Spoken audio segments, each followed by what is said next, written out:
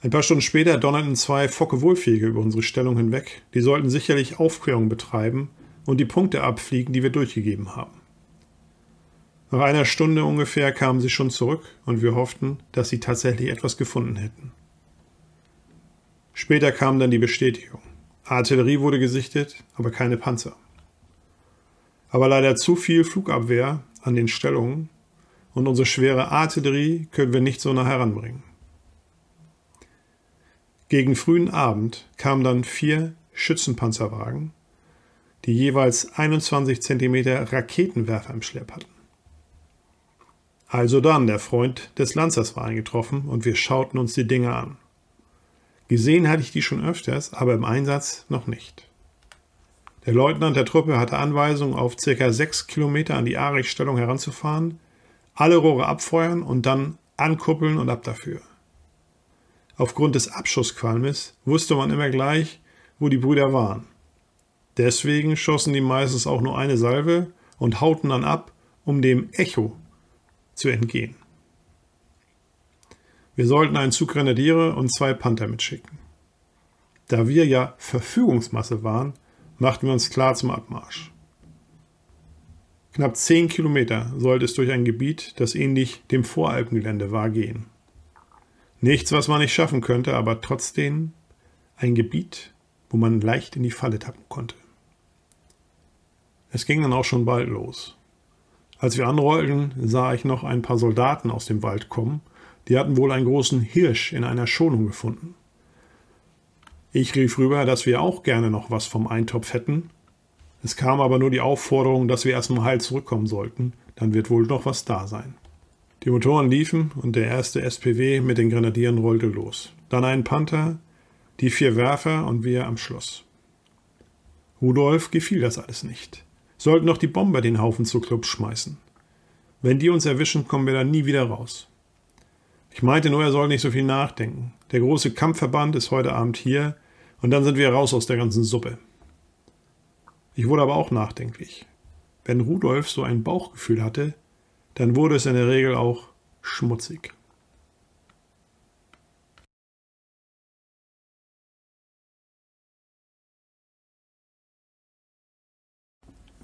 Wir kamen gut voran. Nach kurzer Zeit hatten wir zu unseren Vorposten aufgeschlossen und hielten an der Sicherungslinie an. Auch hier hatte die Russen-Ari schwer gewütet, aber wenig Schaden angerichtet, mit Ausnahme des Volltreffers auf die MG-Stellung.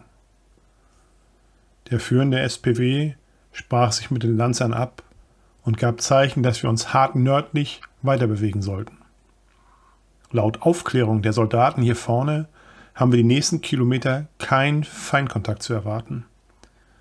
Na, das wollen wir doch mal hoffen, denn laut meinen Berechnungen müssen wir mindestens 15 Kilometer weit vorstoßen, um in Reichweite der feindlichen Stellung zu gelangen.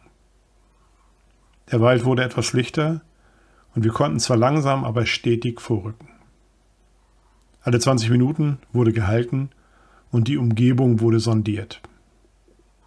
Mir wäre wohler, wenn wir ein paar Aufklärer dabei gehabt hätten, um den Vorausbereich zu überprüfen.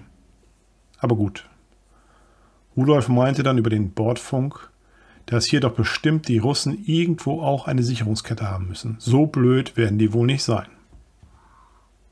Nach meiner Karte noch 10 Kilometer bis zur geplanten Feuerstellung für die Werfer. Dann stotterte unser Motor und wir gaben durch, dass wir anhalten mussten. Unser Fahrer brachte den Panther etwas abseits vom Weg zum Stehen, obwohl wir als letztes Fahrzeug niemand mehr vorbeilassen mussten. Die Männer kletterten gleich zusammen auf das Heck, um die Motorabdeckung zu öffnen. Der Konvoi hatte gehalten und ich ging zum Führungsfahrzeug der Werfertruppe und erklärte kurz, was vorgefallen war. Der Leutnant der Nebeltruppe meinte, dass er 20 Minuten warten würde, dann müssten sie aber weiter nach vorne verlegen, um vor Einbruch der Dämmerung noch eine Salve verschießen zu können. Er erklärte noch, dass tagsüber wegen des Abschussqualms es schon schwer wäre, sich zu verstecken nach dem Feuerschlag. Aber ein nächtlicher Werferüberfall bei der Masse an roten Schlachtfliegern wäre eine Einladung an die Burschen, uns gleich in der Feuerstellung zur Sau zu machen. Ich konnte es verstehen. Rudolf war mit bei der Besatzung eingespannt und es schien, als ob der Vergaser Probleme machen würde. Ausbau und Reinigung kriegen wir hin, meinte der Fahrer, aber das dauert mindestens zwei Stunden. Gut, dann soll es so sein. Ich schickte Rudolf vor, um Bescheid zu geben. Die Kolonne rollte weiter. Schöner Mist mal wieder, aber was sollten wir machen? Es wurden dann doch drei Stunden, als wir fertig waren, und kurz vor der Dämmerung hörten wir dann die Raketenwerfer und sahen auch die Spuren der Flugbahn im Himmel. Dann war es wieder still. Ich stellte mir im Geiste vor, wie die schnell den Kram zusammenpackten und sich absetzen wollten. Ich war hin und her gerissen. Die Strecke jetzt noch hinterherfahren oder hier warten und den Rückweg offen halten? Bis jetzt war hier noch nichts weiter passiert, aber sicherlich waren die Russen nun alarmiert. Der Motor war wieder in Ordnung und lief einwandfrei, wir waren wieder aufgesessen und warteten auf die Truppe. Nach 20 Minuten wollte ich den Motor wieder abstellen lassen, aber vorher wollten wir uns noch in die Abmarschposition bringen. Ich stand oben im Turm und wies den Fahrer ein, damit er sich nicht noch irgendwo festfahren konnte. Wir hatten gerade den Panzer um 90 Grad gedreht, der Motor rührte sehr laut und ich nahm das Knallen von Stahl auf Stahl wahr, und sehr schnell hatte ich den Kopf im Turmlug, denn das konnte alles nur eines bedeuten. Beschuss durch MG oder Gewehr auf unser Fahrzeug. Ich schaute angestrengt durch die Spiegel. Dann hatte ich die Bestätigung, und rief Feuerüberfall. Aus dem leicht bewaldeten Teil konnte man mehrmals Mündungsblitze wahrnehmen. Rudolf drehte schon in die Richtung und ich gab dem Fahrer den Befehl, nicht weiterzudrehen, sondern den Panzer halb schräg mit der Front zum Gegner stehen zu lassen. Kurz darauf rief Rudolf nur Hab sie! Ich gab Feuererlaubnis. Das Bug MG schickte seine stählernen Grüße in kurzen Feuerstößen zum Gegner und eine Sprenggranate verließ das Rohr. Der ganze Panzer ruckte unter dem Abschuss und die 7,5 cm Granate fraß sich durch den Bewuchs und schlug 200 Meter entfernt in eine Baumgruppe ein. Weitere Feuerstöße auf die Buschreihe folgten und eine weitere Granate schmetterte in die Feindstellung. Feuer halt, gab ich durch und spähte weiter auf die Bedrohung. Da sah man ein paar braune Gestalten aufspringen und weghasten. Lange können wir hier nicht bleiben, die holen sicherlich Verstärkung, meinte Rudolf. Funken wollten wir nicht. Man weiß ja nie, ob man doch eingepeilt wird. Wir blieben vorerst so stehen. Der Motor wurde abgestellt und wir lauschten in den Wald hinein. Schmerzensschreie war zu hören. Sicherlich lagen dort irgendwo ein paar Rotarmisten mit zerschossenen Gliedern und starben. Da können und wollen wir jetzt nichts weiter machen. Wir sind hier im Panzer erstmal sicher. Dann war wieder Gefechtslärm zu hören und das Brummen von Schlachtfliegern.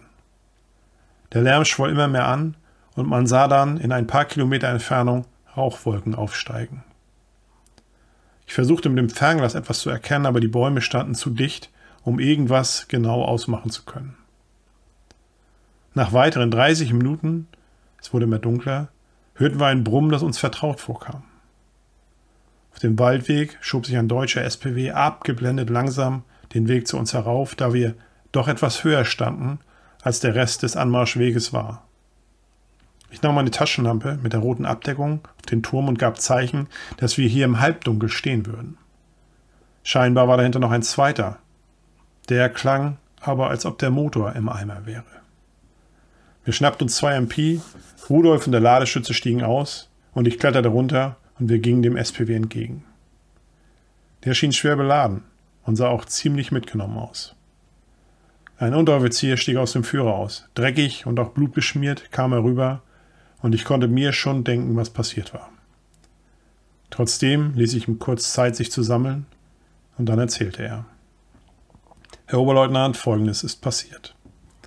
Wir kamen an die Stelle, von der wir in Feuerstellung gehen sollten. Schnell war alles in Position, die Werfer eingestellt und wir waren klar zum Feuern. Die Schützenpanzerwagen wurden etwas abseits abgestellt und so angeordnet, dass man die Werfer schnell anhängen konnte, um einen Alarmstart hinzulegen, wenn denn notwendig. Die Grenadiere hatten sich verteilt und einen Halbkreis von 300 Metern um die Stellung herum als Sicherungslinie aufgebaut. Der zweite Panther ging weiter nach Nordosten, denn dort war Panzergelände und wenn da was kommen würde, dann wären die direkt vor Ort. Der Feuerschlag wurde eingeleitet und die dicken Dinger jauten los, um auf Maximalreichweite den Gegner zu vernichten. Wir sahen noch die Einschläge in einiger Entfernung und dann wurde schnell alles wieder in Position gebracht, um die Werfer schnellstmöglich anzuhängen. Dann brach das Inferno los. Scheinbar war halb links von uns eine Packstellung, die wir nicht erkannt haben oder die uns nicht gesehen hatten. Die brachten sicherlich bei unserem Feuerzauber ihre Geschütze in die richtige Stellung und mit einem Schlag hauten vier Packgranaten in unsere Feuerstellung ein. Der Panther hatte wohl einen Treffer abbekommen und schoss nicht zurück. Zwei SPW waren in Flammen aufgegangen und die Infanterie rannte aus dem Sicherungskreis zurück. Schon wurde der nächste Schützenpanzerwagen getroffen und viele Männer fielen wie die Fliegen. Der Kommandant vom Panther wollte dann wohl den Rückzug sichern, und nachdem der Panzer wieder feuerbereit war, schickte er seine Granaten auf die erkannten Ziele und verschaffte uns etwas Luft. Und dann kamen die Schlachtflieger und feuerten zwischen die brennenden Fahrzeuge. Zwei Wagen waren noch fahrtüchtig, alle Verwundeten wurden eingeladen und wir sahen zu, dass wir aus dem Inferno herauskamen. Der Panther blieb mit drei Grenadieren vor Ort. Die Toten mussten wir auch liegen lassen und dann versuchten wir so schnell wie möglich wegzukommen. Nun haben wir hier 15 Verwundete in den beiden Wagen und noch acht Mann unverletzt. Damit endeten seine Ausführungen. Was für ein Blutzoll, dachte ich bei mir. Was war mit dem Panther? War der noch in der Lage zu fahren oder konnte der nur noch schießen? Er wusste es nicht. Ich würde am liebsten hinfahren und die Männer rausholen, aber wir haben jetzt Wichtigeres. Die angeschlagene Kolonne nach Hause zu bringen und zu schützen. Mit uns zusammen waren es 28 Mann. Vorne an der Front waren es nur acht. Meine Entscheidung war gefallen, wir mussten erstmal zurück. Der zweite SPW mit dem Schadmotor war mittlerweile in den letzten Zügen. Ich wies Rudolf an, dass wir ihn anhängen würden. Er sollte alles bereit machen. Nach 30 Minuten waren wir startklar. Ein SPW vorweg und dann wir im Schlepp mit dem anderen Schützenpanzerwagen und den Verwundeten. Wir versuchten noch in der Dunkelheit zu horchen, aber weder vertraute Panzermotoren noch andere Dinge waren in der Dunkelheit zu hören. Also machten wir uns auf den Weg. Wir tasteten uns durch die Nacht und kamen nur sehr langsam voran. Es war schon drei Uhr, als wir endlich unsere Sicherungslinien erreichten und die Vorposten uns ansprachen. Eine weitere Stunde später waren wir mit dem traurigen Zug aus Verwundeten wieder im Bereitstellungsraum angekommen. Schnell waren viele helfende Hände da und holten die verwundeten Kameraden aus den Fahrzeugen. Wir fuhren etwas abseits den Panzer in Deckung und ich sagte den Männern, wir sollten gleich wieder Munition auffüllen und den Panzer tanken. Wer weiß denn schon, was morgen früh wieder los ist. Der Kompaniechef war auch vor Ort und ich erklärte ihm nochmal genau das, was mir der Unteroffizier gemeldet hatte. Er war nicht begeistert. So viele Opfer, um eine Artilleriestellung auszuschalten. Mit zwei Bombern oder Schlachtfliegern wäre das sicherlich einfacher gewesen. Aber der Auftrag sah vor, den Raum hier für die anrückenden Angriffskräfte zu sichern. Mit dem Flakschutz konnten wir die Flieger abwehren, aber die Ari macht uns immer Probleme. Aber ich denke, das hatte sich jetzt auch erledigt. Später am Tage kam noch Meldung, dass die Flieger die Stellung der Russen aus der Luft nochmal aufklären sollten und tatsächlich hatten die Werfer alles zu Klump geschmissen also doch erfolgreich. Aber die Russen können auch solche Geschütze und Soldaten schnell ersetzen. Wir waren erstmal raus aus der Befehlskette und hatten den ganzen Tag, um uns von den Strapazen zu erholen. Von den Kameraden, die wir vorne hatten zurücklassen müssen, hörten wir vorerst nichts.